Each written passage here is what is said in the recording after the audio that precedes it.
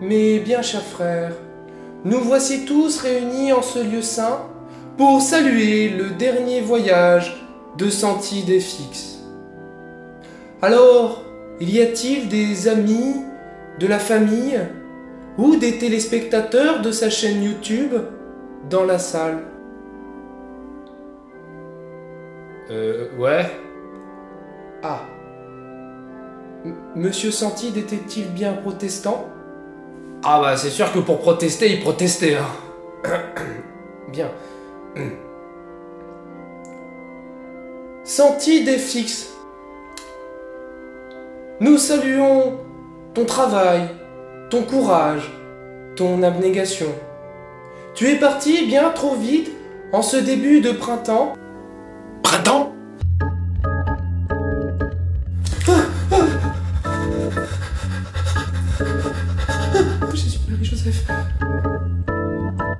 Critiquons, moquons-nous, des riches, des puissants, des cons et malbaisants, mais n'oublions jamais que la haine aveugle n'est pas sourde.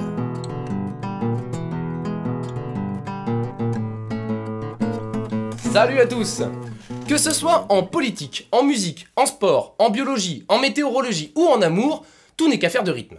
Bien souvent, ce dernier s'impose à nous et nous oblige à nous adapter pour ne pas risquer la syncope.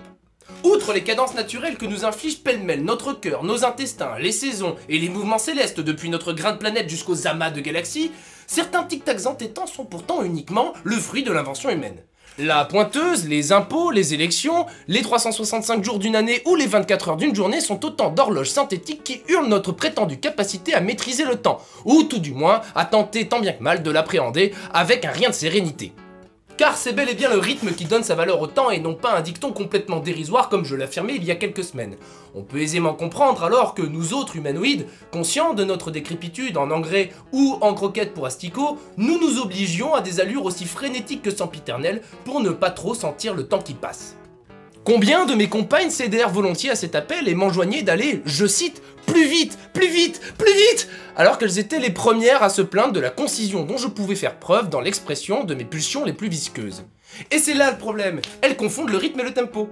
Or, comme je leur expliquais pour me défendre d'une quelconque précocité, la précipitation n'est jamais bonne conseillère. En particulier dans un monde informatisé à outrance où l'on ne peut plus aller déféquer sans recevoir une notification de quelque réseau social que ce soit. Toujours est-il qu'à force de créer de toutes pièces des cycles qui n'en sont pas, nous arrivons à perdre le sens des temps forts et des temps faibles, au point que notre toquante interne ne ressemble plus à ça,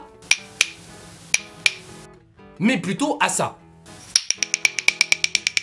Rien d'étonnant donc à ce qu'un hiver interminable comme celui que nous venons de subir provoque chez nous un sentiment de morosité se propageant dans la population plus vite que la dernière grippe aviaire à la mode.